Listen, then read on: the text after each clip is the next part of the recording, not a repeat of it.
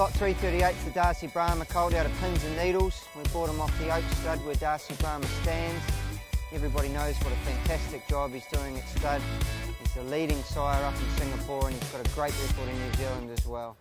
This colt's a lovely, athletic, well-balanced, medium-sized sort of colt that we believe will be winning races as a two-year-old and train on at three to be in those better races. He's certainly got plenty of quality. He's out of a good family. Pins and Needles was a good mare trained in the South Island and she's already left a stakes performer in Azavant. And we thought he was particularly good buying at 75,000.